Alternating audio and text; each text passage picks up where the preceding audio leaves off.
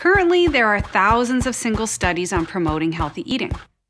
These single studies are designed to evaluate the effectiveness of interventions, but each study can only examine a small portion of the population at a time. Suppose we have 1,000 children who receive oral hygiene education for preventing dental caries and another 1,000 children who do not. Among those exposed to the education, 25 get dental caries and 975 do not.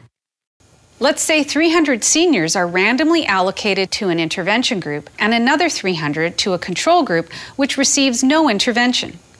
90 seniors in the control group experience a fracture. In the past, literature reviews were considered standard practice for summarizing multiple studies. This approach is like someone opening a file on their computer where they save research studies, picking their favorites, and then summarizing the results. Let's say we have 100 adolescents exposed to a community based intervention to promote physical activity and another 100 not exposed. Among those exposed, 75 participate in physical activity for one hour each day and 25 do not.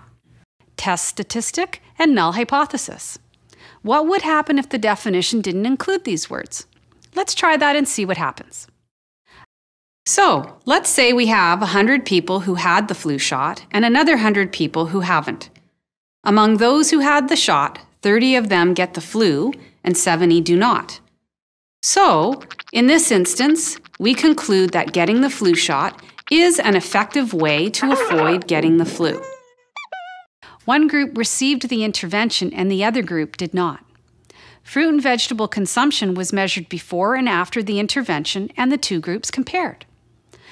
Furthermore, the report also found a significant variation in the use of public transportation, and that in regions in which public transit usage was higher, respiratory symptoms were lower.